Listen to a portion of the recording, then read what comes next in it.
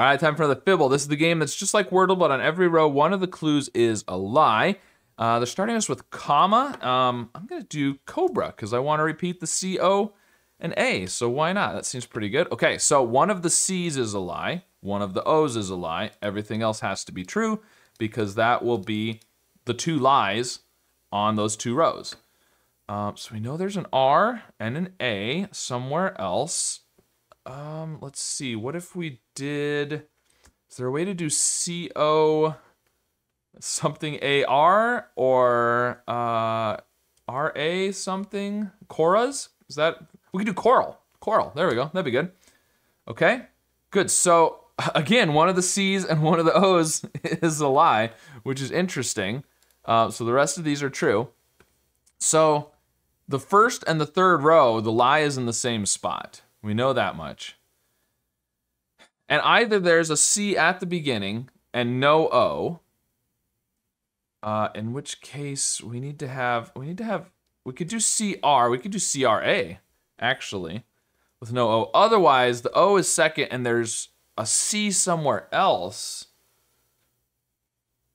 which is, I think is gonna be, it's getting harder to do. So I'm thinking C, no O, CRA, CRA something. Um, how about crane? Ooh, okay, so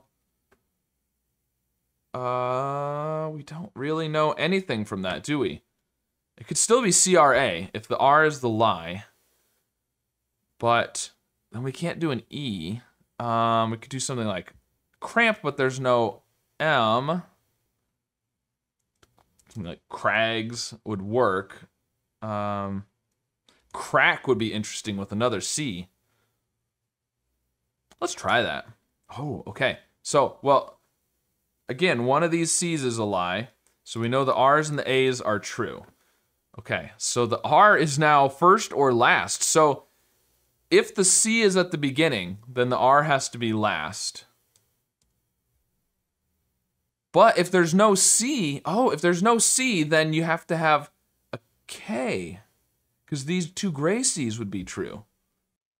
Oh, wait, there can't be no C. No, no, no, no. I was sitting here thinking, obviously I'm missing something, and some of you were yelling at the screen. There can't be no C. There is a C because these can't both be lies because one of the O's has to be a lie. There is a C. So if the C is not at the beginning, if the green C's are lies, which just like yesterday, we would then have three of the same letter green lying in the first four guesses.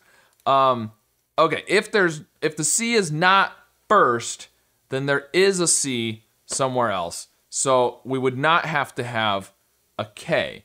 So we can do that. We can do that. So let's assume that these are lies. This is true. This is a lie. This is true. So we need to have OA. There would have to be a C. Now it could be here. It could be at the end. But we would need to have an R. Uh, we could do Roach. Go. All right. Well, it's amazing how, you know, if you just think about the clues correctly, you can get to the answer a lot easier than if you're misinterpreting the clues. It's funny how that works, huh? but all right, well, anyways, um, again, just like yesterday, we had three greens in the first four guesses, and they were all lies. Because the longer you get the same clue in the same spot, the more you're kind of convinced that it's probably true, right? Because the odds are it's not going to be the lie all three times. But of course, it was. All right, well, still got it in, uh, what, five today? Not too bad. So let me know if you cracked the puzzle quickly or if you had to crane your neck a lot to see the solution, I guess. Uh, and of course, be sure to include lots of commas in your comment and subscribe for more.